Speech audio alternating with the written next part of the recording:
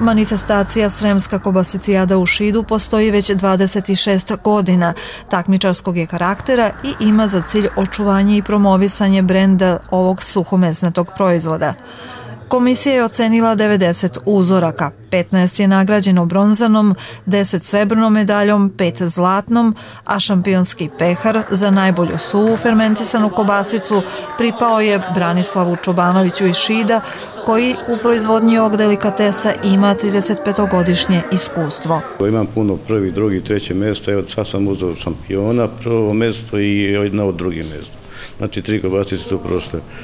To sam ja ovaj pričao kako se pravi, ali mislim da ne vredi to pričati. Ja to 35 godina radim, znači samo iskustvo i uvijek se dan danas otkrivaš neke tajne, recimo snime, šta sam gledao, di šta pogrešio i stvarno dan danas još neke tajne otkrivam.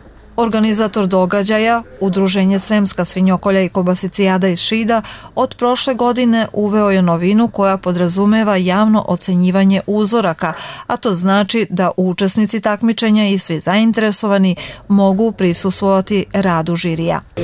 Ovde sam već od pre koju godinu sam dolazio sa, sa ocijama, onda sam napravio malu pauzu. Ovaj, ovo je treća godina da, se, da donosimo, da se takmičimo ovaj, sa kobasicom dimljenom, suvom. Sad smo malo promenili recepturu, više nije prirodno crevo, sad smo na veštačkom, možda se vratimo sledeće godine na prirodno opet i tako. A, kobasica na oko delo izvaredno, pratim i rad žirija i žirija deluje da zaista zna svoje posao i vrema će zabrati najbolju kobasicu.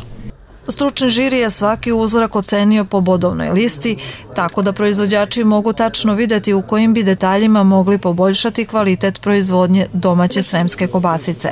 Pored javnog ocenjivanja, novina je i sledeća. Od prošle godine sve ovo što se dešava u sali Slovačkog doma je zaštićeno u Zavodu za patente u Beogradu. Znači i grb, takmičenje u brzoj obradi, takmičenje u proizvodnji sremske kobasice, takmičenje u pravljenju sveže sremske kobasice, tako da mlada ekipa zna šta radi i zna da sačuva svoj trud i rad. Uzorci ljutog suhomesnatog delikatesa pristizali su iz cele Srbije i regiona, Slovenije, Bosne i Hercegovine i Hrvatske.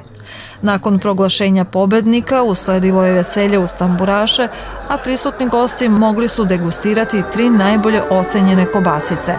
Kao i ranijih godina, svi doneti uzorci predati su u Crveni krst za potrebe Narodne kuhinje u Šidu.